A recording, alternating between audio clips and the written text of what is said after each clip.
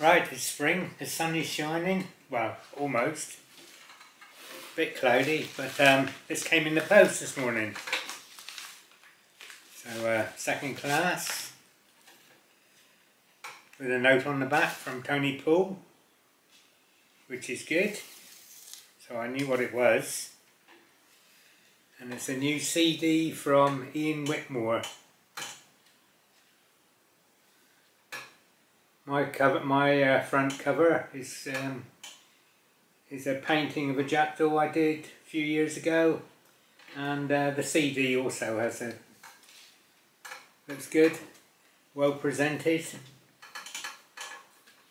Yeah, looks pretty good. I saw them up in London. Oh, I don't know, maybe more than maybe more than six months ago. Playing up in London, uh, Tony and Iain as starry-eyed and laughing he played some of his songs and he's got a great voice and they're really really good songs. I have heard most of them, I do know most of them. Perhaps I need me glasses to have a look see what we got on there.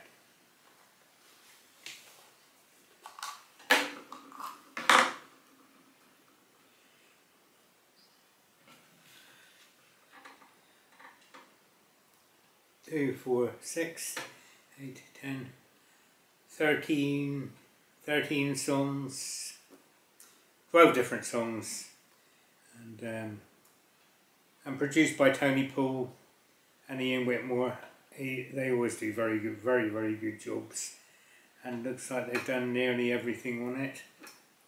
Oh no, there's some backing vocals, backing vocals, uh, tenor sax and clarinet. Very, very nice now I've got to um, now I've got to go and put it on.